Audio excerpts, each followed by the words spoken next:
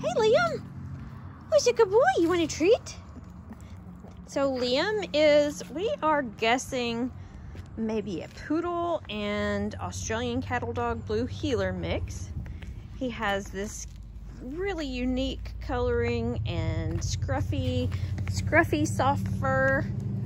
He is a very good boy and he is, as you can see, he's had uh, some surgeries. He actually came to us with two broken legs and he survived being hit by a car and left for dead on the side of the road. So Liam has overcome quite a few health obstacles, but he is all healed up and now he is ready to find a family of his own. He's good with other dogs and cats, and we think he would like a family where he could get lots of attention. If you think Liam might be the one for you, send us a message.